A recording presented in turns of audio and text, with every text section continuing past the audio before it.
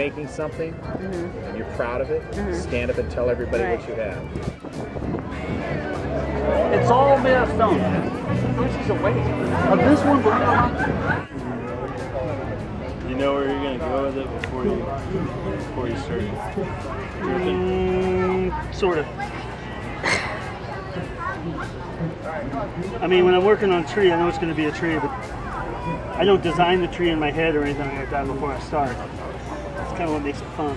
I don't know. I just kind of developed it over a long period of time, you know, with the uh, the, the little images and these little things are, are go way back into even high school in the was gonna- 70s. uh-huh. When I did uh, my first, uh, uh, it was a project. It was a self-portrait, Uh huh. and everybody did themselves, Uh huh. and I used images. Um, basically, I have a series of basically the tattoos on the women's backs are coming to life. So here's the tattoo starting to come to life. Oh wow. And Uh-huh. um, I use a lot of texturing as you can see, but then also this is the second in the series, Uh-huh. and then the third in the series. So, and I'm going to be doing more. So let me ask you, what do you guys think of this show? Honestly, that's, I'm bewildered. Bewildered? yeah, because it should have been better, I think.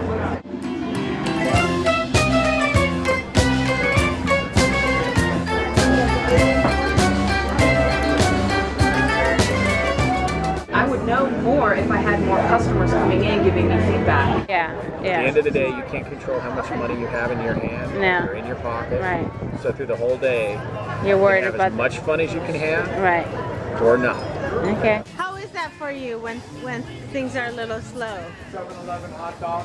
is that is that how you get through it the day? Pretty much. Customer, sometimes even if you don't sell, Right. but you hear a good compliment, Right. keeps us going. Right. The momentum factor. Yeah, motivation. You know, Right. the motivation thing. You know, like like son did a great thing. Keep going. Right. Right. E- Even if you did a bad thing. Right. The the attaboys count here, huh? oh yeah. Oh, Yeah. And Yeah, we came out here to have a good time. You know, I think we got a good ball club this year. Oh yeah. Uh, You betcha. you know, the coach, we've been working pretty hard. You know, uh, you know, just having to be, everybody has a bad day once in a while. It's not how you did today. You can't tell for over a year right. what you did at this show because next year somebody will come back and say, "Well, I saw you last year, and that's why I'm back." Well, that sale comes from today, not next year. Yeah, but you know what? A lot can happen, and a lot does happen for me. I've uh, found so far in these two shows afterwards. Is, I mean, what I've been saying is it's better to come out and be seen, really. If I don't make any sales, at least I handed some cards out. You never know who's going to see you.